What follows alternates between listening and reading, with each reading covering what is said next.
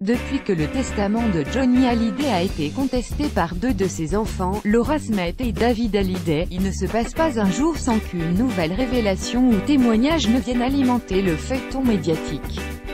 Dans les rédactions de journaux People, les journalistes se sont organisés pour décrocher des informations exclusives. Les journaux sont très offensifs et investissent temps et argent pour espérer décrocher le Graal, une interview de Laetitia Hallyday. Le feuilleton du testament de Johnny Hallyday vous Inutile de nier, on a les chiffres, depuis que Laura Smith a contesté, par voie de presse, le contenu de la succession de son père, à la fois sur le plan juridique et moral, on ne compte plus les rebondissements et les réactions outre et des différents cannes, ou clans.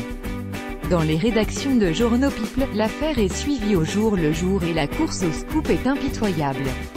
Le chef de service d'un grand hebdomadaire People a confié à 20 minutes travailler quotidiennement au sujet. La première chose que je fais le matin, c'est faire un point là-dessus avec les journalistes du service. On investit beaucoup d'énergie et d'argent sur cette affaire. C'est le plus sujet que j'ai eu à traiter de ma carrière, des médias en mode commando dans un autre hebdo People, même son de cloche tout semble fade en comparaison avec l'affaire du testament, explique une journaliste qui enquête depuis plus de 10 ans sur les people français. Cette histoire est formidable, il y a tout et surtout, il y a des répercussions multiples, on a de quoi faire un article par jour jusqu'à la fin de l'année, pour alimenter leur page et nourrir la curiosité des lecteurs, ces médias ont mis les bouchées doubles dans le domaine de l'investigation. Les sites People font des cartons d'audience en ce compte de reprendre nos infos, mais nous, on va, on va les chercher à l'ancienne, avec les dents, rigole le chef de service du grand hebdo People, on a une dizaine de personnes sur le coup. Il y a des contacts qu'on relance quotidiennement pour avoir des infos. Il ne faut pas tomber dans le harcèlement non plus mais on a la hantise de travailler au corps un contact pendant des jours et que ce soit un confrère qui ramasse la timbale, la pêche au scoop depuis le début de l'affaire, mis à part le procès intenté par Laura Smith et David Hallyday qui réclament un droit de regard sur le futur album posthume de leur père, le feuilleton est surtout alimenté par les réactions de proches de la star. Il y a plusieurs types d'infos explique l'enquêtrice d'un journal People. Le plus simple c'est de recueillir le témoignage d'un intime de Johnny sur l'affaire. Il y en a encore plein qui n'ont pas parlé, moi j'en ai recueilli plusieurs que je ne peux pas sortir pour plusieurs raisons. Souvent à cause des avocats, on ne peut pas se fâcher avec la terre entière, simple en apparence, le fait de dénicher un témoignage de proche sur l'affaire à l'idée est en réalité une prouesse qui réclame patience et doctorat en psycho. Il ne faut pas les effaroucher. Le titre de mon média effraie souvent les gens. Il faut les mettre en confiance, ne pas se montrer avide ni les presser.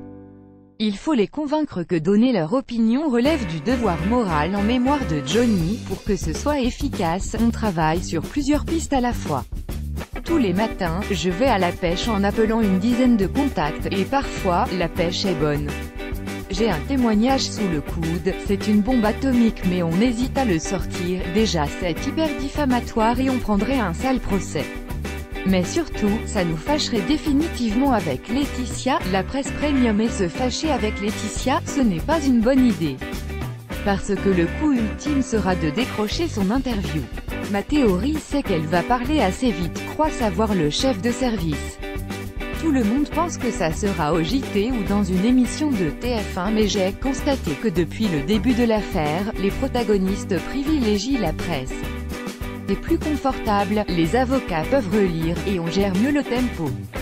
Les avocats sont hyper crispés sur la propagation des infos sur les réseaux sociaux. Leur hantise, c'est de voir leurs clients craquer et balancer quelque chose sur Instagram sous le coup de la colère. Et dans ce contexte, les conseillers en images préfèrent que les choses sortent de manière concertée dans les médias. Les quotidiens aussi sont sur le coup pour décrocher une interview exclusive comme celle de Mamie Rock, la grand-mère de Laetitia. Une journaliste de la rubrique Faits divers d'un grand quotidien régional nous explique que le service culture vient me voir tous les jours pour me demander des conseils juridiques ou de méthodes d'enquête. Ils ne sont pas habits à aller dégoter.